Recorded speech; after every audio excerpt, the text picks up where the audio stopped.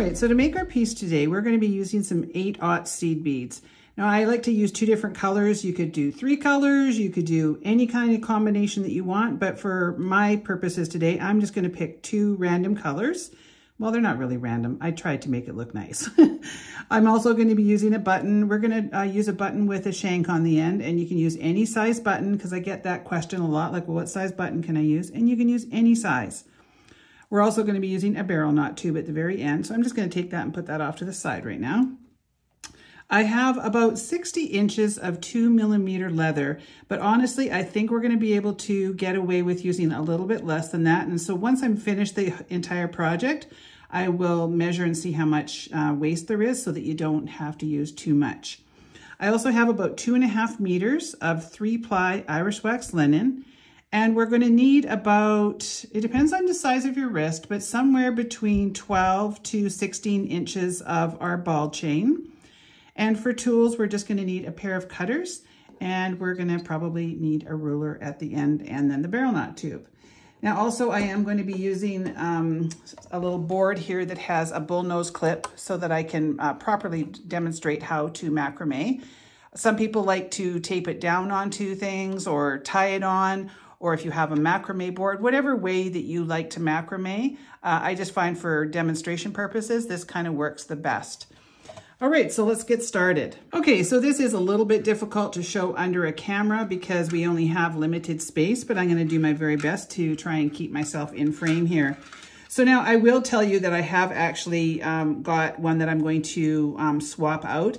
This took me about three hours, only because I wasn't really, you know, working fast at it, but it is a, a project that can take a little bit on the longer side. So I knew I couldn't do that on camera. Uh, so I'm going to show you how I start and uh, then I will swap out the almost finished one and show you how I finish. So what I'm going to do is take my leather and um, marry up the two ends and then I'm going to slide my knot down to the middle of my leather. And of course, it doesn't have to be exact, but we do uh, want to have it fairly close. And now we're going to try and get this between um, the bull nose clip. So, you know, you can um, actually take these out to make it a little bit easier, but you should be able to just kind of pop it up in there. And all this is going to do is just make it so that you've got something that will give you a little bit of resistance. And mainly it's for me for demo purposes. So now you could tape this down at the end here. Like if you um, like a little bit of resistance, you could use some painter's tape and tape that down. I tend to macrame in my hands just because it gives me a little bit more, um, I like to feel things when I'm doing them. Um, but, you know, you can, again, everybody has a different way of macrame, so this is just the way that I do it. Then I'm going to take my Irish wax linen and I'm going to find the center of it. And of course, it's too hard to do that on camera, so I'm just going to find the center of it and I'm going to place it behind my leather. And this is how we're going to attach our button to our leather. Normally I would do a barrel knot, but what I find is sometimes the barrel knot can make your leather sort of sit a little bit off kilter. And I absolutely do not want that on this project. It's imperative that your leather stay completely flat um, when you're when you're doing this with the chain. So um, it'll make more sense as I go along. So I'm going to go about a quarter of an inch from the shank of the button and I'm going to start my first um, part of my uh, square knot. So a square knot is just what I call P's and Q's. So I'm going to make it sort of a P over top of my leather and then I'm going to take that tail and bring it back up through the hole. So I'm going underneath the leather. And I'm just hoping I'm on camera. My, um, sorry, I'm moving things around to make sure I'm on camera there. There we go. Um, because it's so easy to get off camera when you're doing so many things at one time. Okay, so I want to bring that up to where I want it, which is, I'm just going to make sure, yeah, I'm just going to scoosh that down. So I want to have that up there. And I don't want it too tight, but I want it, you know, it's sort of that, not too tight, but too, you know, you know what I'm trying to say. All right, so now I want to do my Q on the other side. So we go backwards, which is kind of like a backwards P, go over top and then underneath and up through that hole. So the main thing with this uh, particular project is maintaining tension throughout the whole thing. Um, that's really important. So we're going to do two of these. So there's one full square knot. So you'll see what I mean by doing it in my hand. I just kind of like, I don't um, stop and start it a lot. I just kind of maneuver things in my hands. And sorry, this is gonna make a bunch of racket uh, because it, you know, bangs against there. But for demo purposes, it really is the best way for me to show you uh, what I'm doing. So you can see I just kind of grab that underneath one with my fingers and then pull it up. Okay. Now in this one, I'm going to make my P. And then I'm going to not tighten it up so much. I'm just going to kind of put it like that. Now this is one of those things where you kind of have to hold your tongue the right way. It, the hard, this is the hardest part of the whole project is getting this started. And, you know, honestly, if you want to sacrifice a, a, a, a link or two of this, it might be easier. But I'm going to put one of the pieces of chain on one side and one on the other. So um, if, you're, if you've got a big piece that's like 14 inches or whatever, just cut it in half so that you've got two separate pieces. So I want to get that up there. So it's not really hard. It's just, you know, a little futzy, especially if you don't have this tied down. When I was making my sample, I didn't have it tied down in any way, and it was a bit of a bear.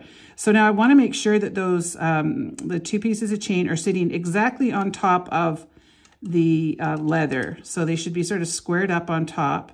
So I just kind of, you know, maneuver it around with my thumbnails and stuff and make sure that it's where I want it. And it, it may not go exactly where you want it to start, but we'll just keep bossing it around. So I'm pulling that fairly tight. And now I'm gonna do the Q right in that same slot. So I get it started and then I will maneuver it back into um, where I wanted it here. All right. So there we go. That's how we get that started. Okay, so that's exactly what we want. We want everything kind of laying on top there. So now you're going to try and figure out what you're going to use for your um, your colors and you know your pattern. And on my sample, I did uh, three of one color and three of another. So, you know, probably the silver that I've chosen for this one isn't the best, but I was just kind of grabbing whatever I had uh, available to me.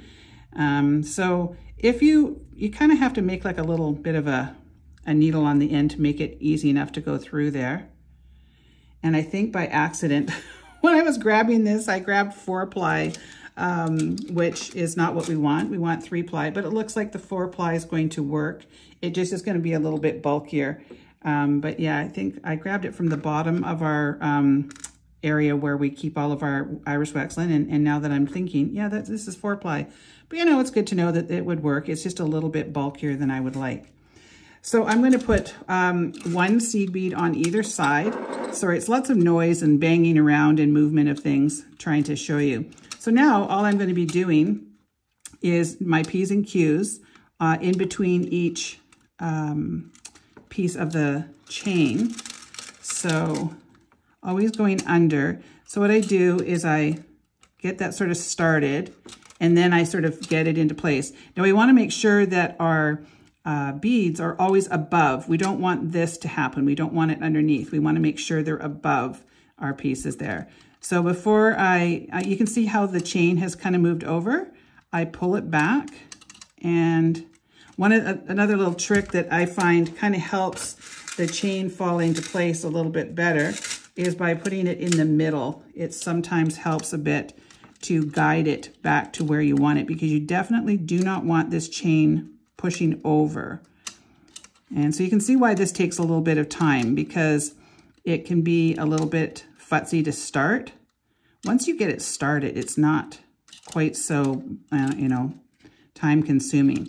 So that's what we're going to do there. And then we're going to do our Q back in the same spot. So each um, square knot is going to be in one spot, like in that it's going to be in between each ball of the ball chain. So pull that tight. So it's good to know that this is working with the four. It is a little bit heavier looking, but it's okay. It works. So sorry for the, the noise there, but I don't know if I'd be able to show you without. So this is what we want to have happen. So I'm going to do that uh, three times with the same color, and then I'm going to do it three times with my alternate color. So, oh, I'm just going to get that up there. I'm going to um, show you a couple more because uh, I need to show you how we don't want it to look on the back. So I need to have a little bit uh, done here to be able to show you. But, you know, the, um, the combinations are limitless. We carry this ball chain in, oh, I think a half a dozen different colors. Uh, you don't necessarily have to match your button to your chain. You could do, um, you know, like a complementary color. You could mix your metals and use do different colors. So you can do so many things. We have so many different colors le of leather. Now, I would recommend using the natural leathers versus the um, the shiny metallic leathers because those have got a lot of slip to them and it might be uh, it might not be a great thing with the ball chain. It might just move around too much. So I would just be careful of the kind of leather that you use. Now, we only sell really good quality leather, so I'm able to speak to that, but for other leathers, I don't know. So now what I want to do when I'm when I'm making this is not only do I want to make sure that those ball chains are lining up on top of the leather, but what I do is I just kind of maneuver my uh, seed beads back into place there so that they're all starting to line up. So you can see now how this is starting to take shape and how you would not want to sit through this entire demo of me doing this whole thing, listening to all that rattling and jingling. So I'm just going to get um, a couple of these on and then I'll switch colors to show you uh, what that looks like. So again, we're going to do our P. And I find that if I don't leave myself too much, um, you know, excess materials, it's a little bit easier to do this. So just take those ball chains and kind of scoosh them over before you tighten up your uh, Irish wax linen. And if it has moved over a bit, you it is actually fairly flexible in that you can push it back because I could see that those were starting to move over. So you're the boss when you're making your own jewelry. So that's the nice thing is that you can just boss those back to where you want it. So now the one thing with Irish wax linen is that it is very sticky. Uh, my lovely friend Heather Powers she uses a lot of Irish wax linen in her projects. And what she does is she will take a uh, paper sack of some kind, paper bag, and she will run it over top of this to remove just a little bit of the Irish wax linen because we want the sticky, but we don't necessarily want all the sticky that comes with this. Uh, so, you know, if you want to do that, it will take away just a little bit of the sticky, but I, you know, I'm, I'm used to having it all over my hands when I'm doing this, so it's not such a big deal. So now I've changed to kind of like a metallic uh, silver, which, you know, is probably not the best color to do with this, but that's what I grabbed. That's what I had available to me. So again, we're just going to do three of this. So I'll just show you this one here, and then I'm going to take it out and show you what it needs to look like on the back. So get this one done. And um, I made mine the other night watching a movie. So this is definitely, once you get going, it's uh, pretty easy to do. Um, and it's got such a cute effect. I just loved how it turned out. This actually started out as something completely different. I was going to make a different kind of a bracelet. And then, you know, I start playing and then something else is born. So there we go. So I would just, for my pattern, I did three and then three, and then I just alternated the colors. So you can see how that stacks up really nice. The beads look really cute on the side. So now I just want to show you a little bit of uh, troubleshooting kind of thing. Just going to noisily take that off to the side there. So I want to take my button out. Now, if you can't get them in and out, you can actually, with these bullnose clips, you can actually pull that um, out, usually. It could be because the button's in there that it's not coming out, but normally they come out. So Mine's just kind of lodged in there now. There we go. Okay, so if you look at the back, you can see that you can barely see the chain on that one side. And that's what we want. We don't want to see something like, like this. You don't want to have your chain that's sort of rotating over to one side because then it's going to be off kilter. So you always want to make sure that you're pushing that chain back up on the top. So I'm just going to swap out with my uh, other one here. All right, so you can see the other one that I made here. I used a different button. And I've used some of the, uh, I think this is the walnut Irish uh, wax linen. And I used the same color ball chain. And then I used two different colors here. Everybody always asks me what colors I used.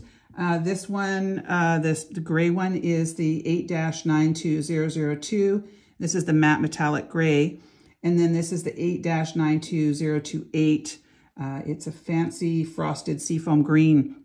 I don't even know if they manufacture this one, unfortunately. But, you know, any sort of muted, um, pale, greeny kind of color would work if you wanted to, uh, you know, completely copy what I did here. And I just used the uh, natural gray leather for this. So you can see on the back that you can't really see my chain. The odd spot you can see just a little bit, but you just want to make sure that it lines up on top. And look how cute that is. I absolutely love this. And when it's done up, I think it's going to be so sweet.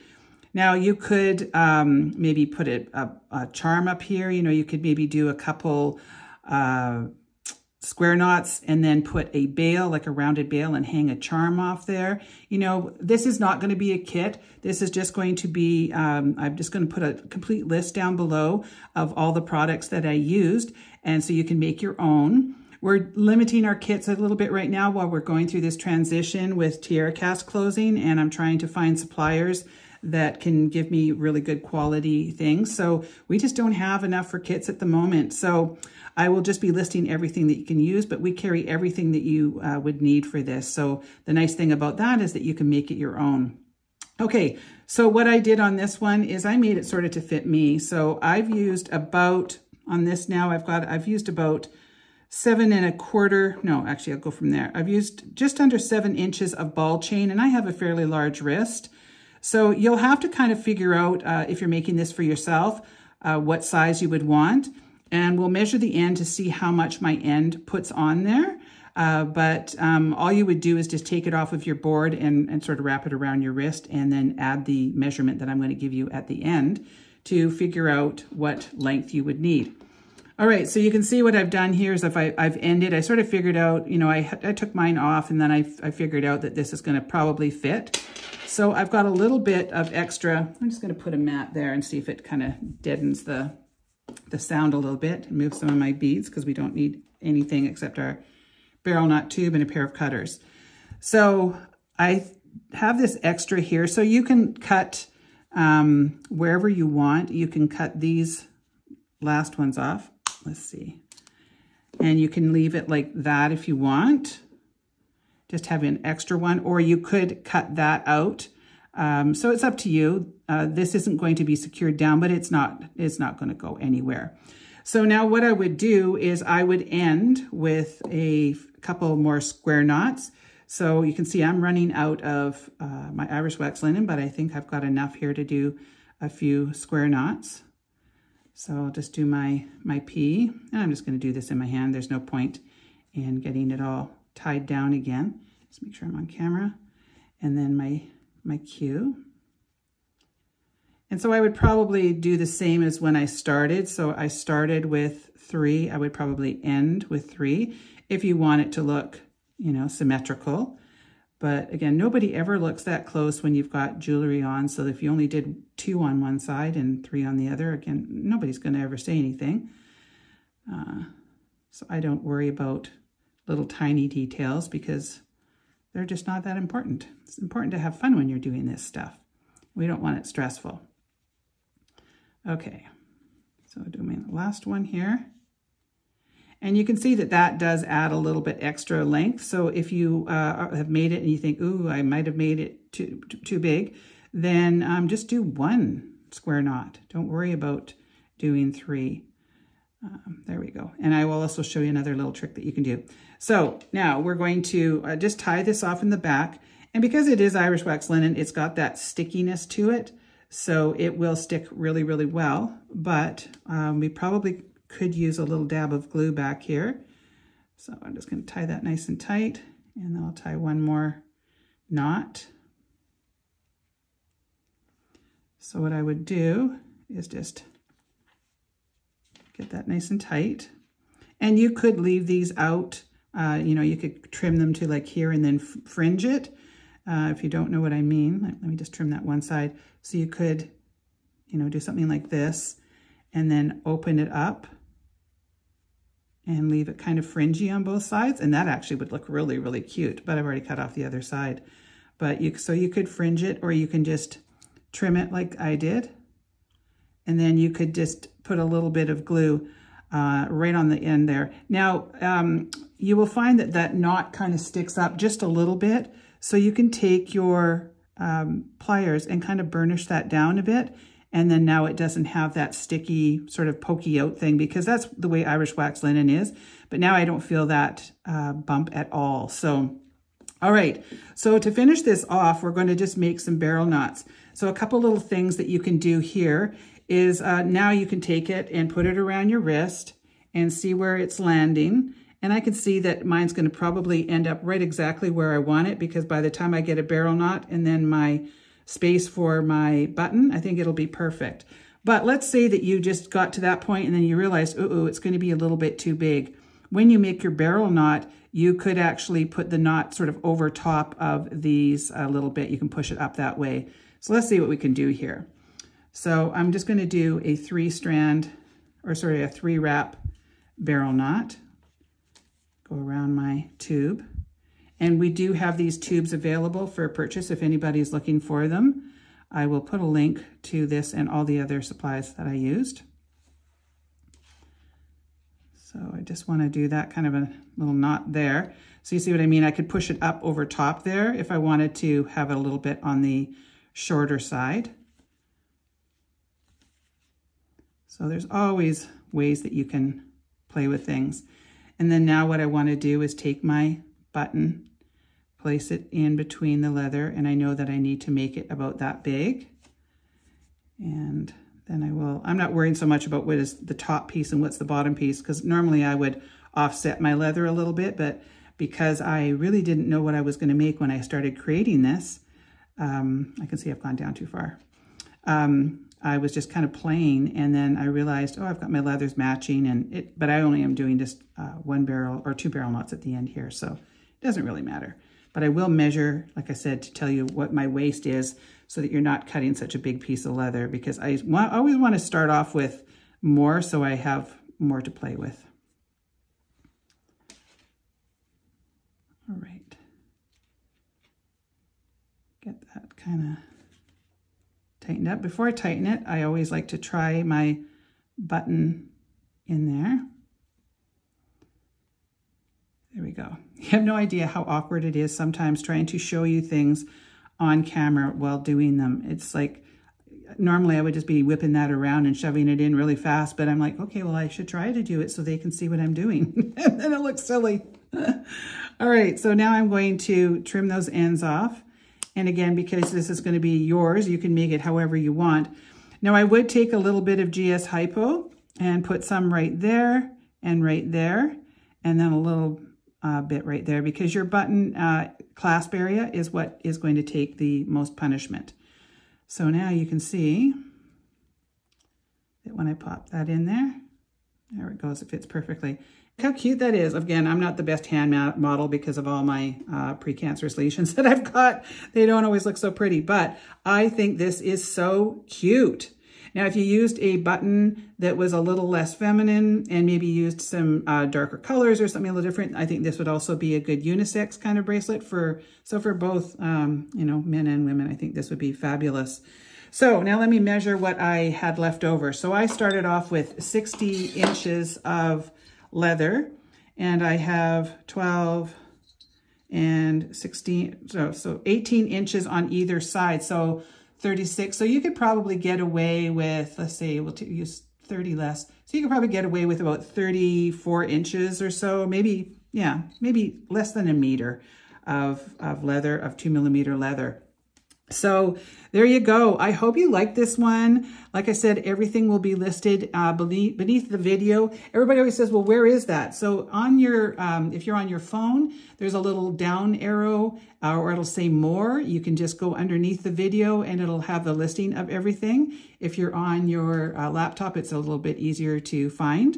Uh, so I will uh, list all the products that I used. And this is a good stash buster if you've got 8-aught seed beads. Um, but I really enjoyed the way that this one uh, looks, and, and I think it turned out really, really cute. So if you like this video, please make sure to give me a thumbs up. If you haven't subscribed to my channel, please make sure that you do so. I really appreciate it when everybody leaves me lots of really um, sweet comments. So I want to thank you so much for joining me, and we will see you on the next one.